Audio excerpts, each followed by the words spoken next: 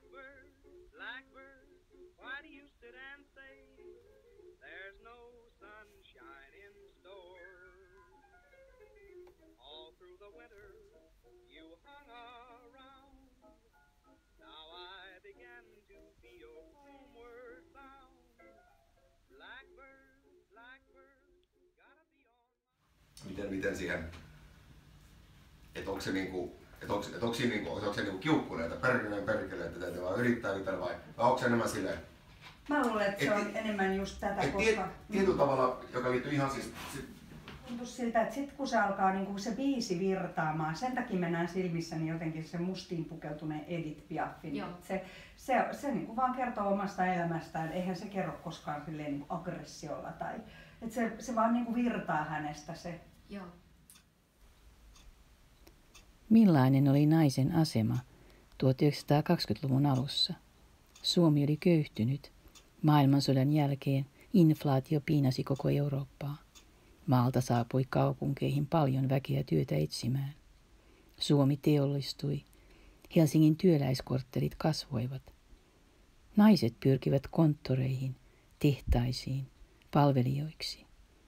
Jos työtä ei ollut, tai syntyi avioton lapsi, nainen joutui helposti kadulle.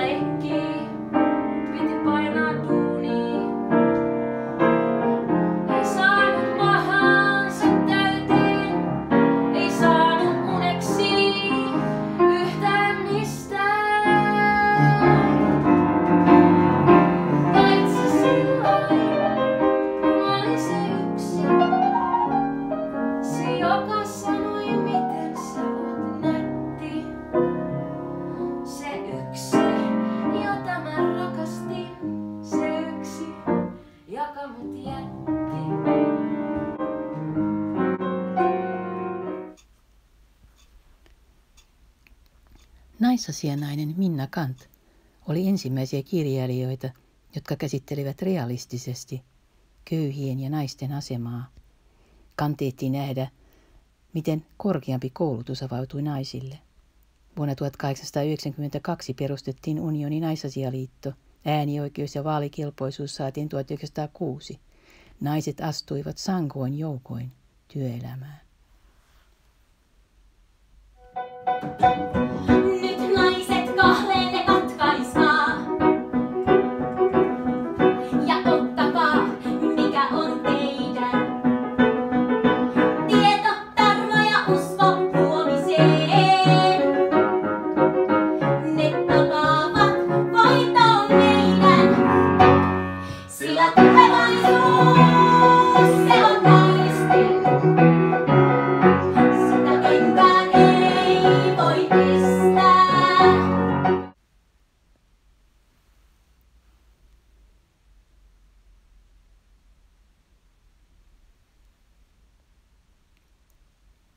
Rakkaus oli monella tapaa naiselle riski. Vaikka se tarjosi ylä- ja keskiluokan naisille taloudellista turvaa, se myös sitoi heidät kotiin.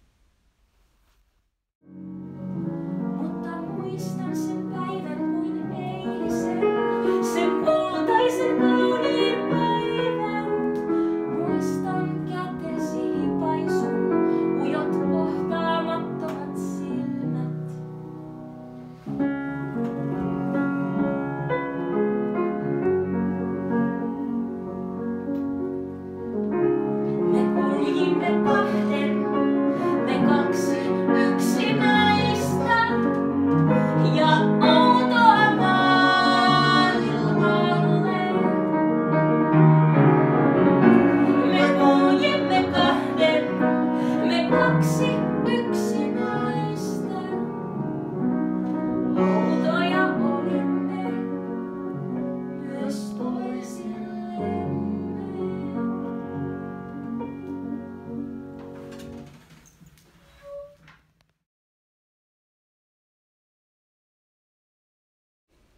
Pitkä silta jakoi Helsingin kahteen osaan, työläisten ja säätyläisten kaupunkiin.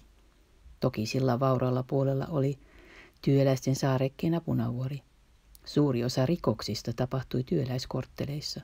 Köyhyys, sisällissodan traumat, kieltolaki oli monia syitä sille, että 1920-luku oli Suomen rikostilastojen synkin. Kun siniset varjot laskeutuu, jää tähdet ja kuu, käteen ottaa joku puukon vai pistolin, ja kuolema, kuolema, käy kruunilla kaupungiin. Voi Helsinki, voi Helsinki, siellä saun ja rikosten kaupunki. Iloisen Helsingin keskus oli Esplanadi. Musikaali alkaa sieltä ja päättyy sinne, mutta muuallakin osattiin huvitella. Helsingin liepeillä oli luontoa ja merta, joka oli myös työväen käytössä. Ja sekä rikkaat että köyhät pitivät tanssimisesta.